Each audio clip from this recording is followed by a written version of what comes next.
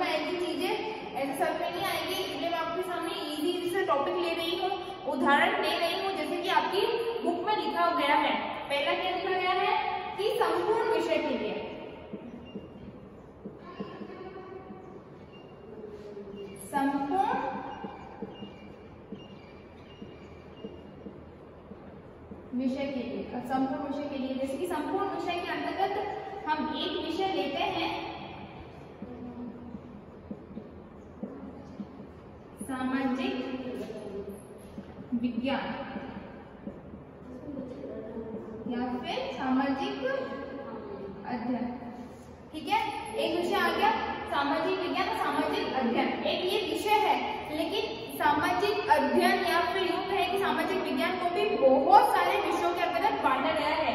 अब कौन कौन से विषयों के अंतर्गत बांटा गया है? तो जो सामाजिक जो अध्ययन है, ये है आपका माइंड मैपिंग का पहला पॉइंट अब इससे संबंधित हम बहुत सारी चीज़ें बनाएँगे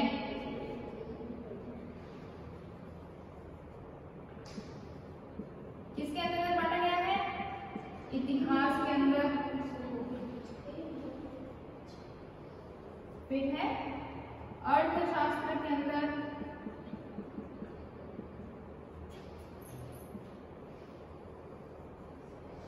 फिर है भूगोल के अंदर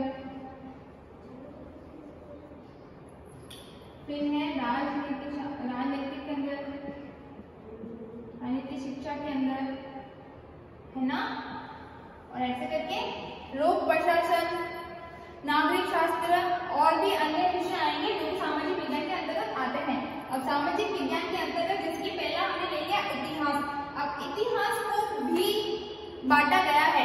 कैसे बांटा गया है? अब इतिहास में बांटा गया है। प्राचीन इतिहास में। है ना? प्राचीन इतिहास में बांटा गया है फिर क्या बांटा गया है मध्यकालीन इतिहास में मध्यकालीन इतिहास में और किसमें बांटा गया है इसको आधुनिक इतिहास में ठीक है और लास्ट में उसको बांटा गया है? विश्व इतिहास। ठीक है? विश्व का भी अलग से इतिहास चलता है। तो इतिहास को भी यहाँ पर देखें तो चार भागों में बांटा गया है इसी तरीके से अर्थशास्त्र को भी बांटा गया होगा ठीक है भूगोल को भी बांटा गया है राजनीति शास्त्र को भी बांटा गया है तो ये हमारा क्या हो गया एक विषय संपूर्ण विषय के लिए हम माइंड मैपिंग इस तरीके से कर सकते हैं नेक्स्ट क्या था कि एक इकाई के लिए, जिस तरीके से अपने संपूर्ण विषय के लिए किए ना, पूरे सब्जेक्ट के लिए की है, वैसे हम एक इकाई के लिए भी कर सकते हैं। अब एक इकाई के लिए कैसे करेंगे? जैसे कि फॉर एग्ज़ाम्पल मैं आपकी ही इकाई ले लेती हूँ कि व्यवसाय, अध्ययन, में पाठ्यक्रम एवं पाठ्य पुस्तक आपकी इकाई का नाम है? व्यवसाय, अध्ययन, में एवं पाठ्य पुस्तक ठीक है? ये आपकी इकाई है। अब इस इकाई को भी, इसको भी बहुत सारे बहुत सारे लेसन में डिवाइड किया गया है ना बहुत सारे पार्ट के अंतर्गत उसको बांटा गया है तो भाई जो पहली जो यूनिट है उसके अंतर्गत आपका पहला जो पॉइंट है या फिर पहला जो पार्ट है उसका नाम ये है फिर जो दूसरा है उसका नाम ये है तो तीसरा है उसका नाम ये है आप इस तरीके से भी कर सकते हो आप उसको फ्लावर के माध्यम से भी बता सकते हो यहाँ पर आप अपनी यूनिट का नाम लिख सकते हो कि आपकी पहली यूनिट के अंतर्गत आपका जो पहला पॉइंट है जो पहला जो लेसन आ रहा है वो ये है ठीक है दूसरा जो लेसन आ रहा है वो ये है ती, तीसरा ये है चौथा ये है है ना तो ये क्या है एक तरीके से माइंड मैपिंग है आप इस तरीके से बच्चों को समझाओगे ना तो डेफिनेटली उनको माइंड में भी चीज़ें बैठेगी वो पढ़ने में रुचि भी ले सकेंगे और वो और जानने की जिज्ञासा रखेंगे कि हम इसमें आगे और क्या चेंजेस कर सकते हैं फिर क्या था आपका प्रकरण के लिए अब प्रकरण के लिए भी हो सकता है एक प्रकरण है जिसकी हम यही पढ़ रहे हैं संगणना मान मानचित्र विकसित करेगा तो एक प्रकरण के टॉपिक के अंतर्गत भी हम ले सकते हैं टॉपिक के अंतर्गत भी हमारे बिंदु आते हैं कि जिसकी हम पढ़ रहे हैं हमारा बिंदु पहला बिंदु क्या आया पहला बिंदु आया हमारा एक संपूर्ण विषय के लिए। ठीक है?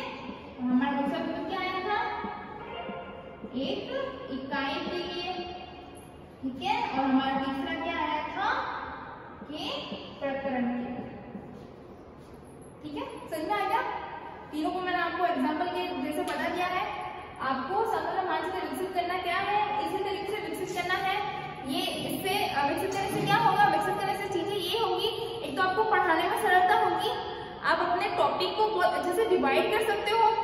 सबसे मेन बात, आपका काम आसान हो जाएगा और बच्चे को बहुत अच्छे से समझ में आएगा। बीएड वालों, चाहे आप कॉमर्स के हैं ये क्लास लेकिन आप जो माइंड मैपिंग है, वो किसी में भी कर सकते हो, हर सब्जेक्ट में कर सकते हो। फ्री फ्रंट के नंबर है, मैं सही बता रही हूँ। एग्जामिनर का काम, इसके बारे में बहुत ज़्यादा काम होता है कि वो हर एक चीज़ को नहीं पढ़ सकता। अगर आप ऐसे मोटे मोटे तौर पर चीज़ें बनाकर समझाओगे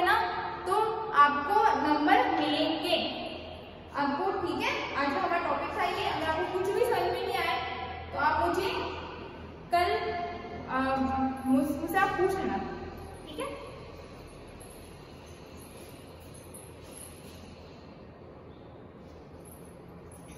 और हाँ मैं आपको ये कहना चाहती थी कि प्रियंका, आप तो वीडियो देख रही हो, लेकिन लक्ष्मी शाह की वीडियो नहीं देख रही है।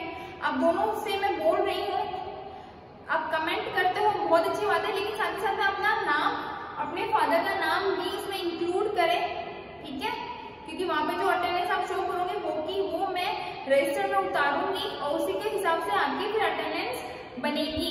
तो लापरवाही मत करो, ठीक है? वीडियो देखने में भी मत करो और और अपने अटेंडेंस में भी मत करो क्योंकि जो आप चीज़ें अभी कर रहे हो वो आपके आगे तक बहुत ही ज़्यादा काम आने वाली है क्योंकि क्लास का हम लोग कह नहीं सकते कोरोना कोविड जो भी है ये कब तक खत्म होगा हम सब कुछ भी अनुमान नहीं लगा सकते इसलिए चीज़ें अच्छे से करो आपको ऐसे ही पढ़ना है तो फिर पढ़ो, अच्छे से पढ़ते हैं ठीक है?